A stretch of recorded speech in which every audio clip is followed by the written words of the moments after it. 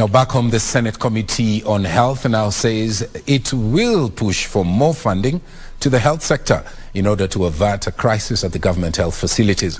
The move came as health workers' unions and associations decried understaffing and infrastructures as a major challenge in the performance of their mandate. The committee was receiving submissions by health workers and associations on the rising cases of medical negligence of patients at public hospitals.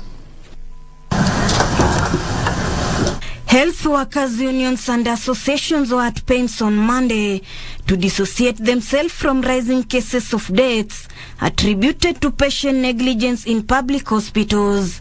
may feel that you're already treated, yet you're very sick, you're going to... Appearing before Senate Committee on Health, the union sought to explain the negligence part that led to the death of baby Travis Maina and Lady Maureen Onyango.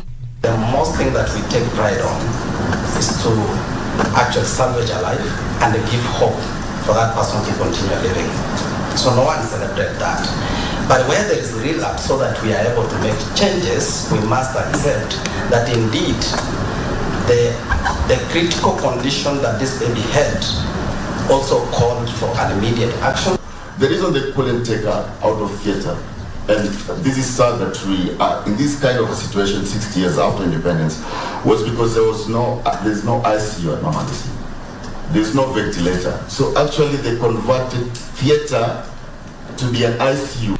The unions pleaded with the committee not to crucify health workers, but instead streamline the healthcare system that has led to system failure. Some of the level 5 that we actually do have uh, do not measure up to the level 5s that we actually supposed to be having.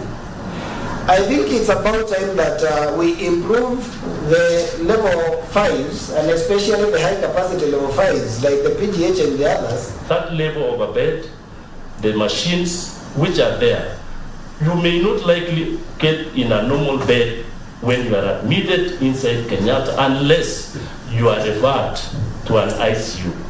Among the recommendations tabled by the unions are emergency fund to cater for emergency cases for patients who cannot afford referral fees, a health service commission, strengthening of referral hospitals, among others. The other action is to have the budget for the counties which at that 15% to be doubled.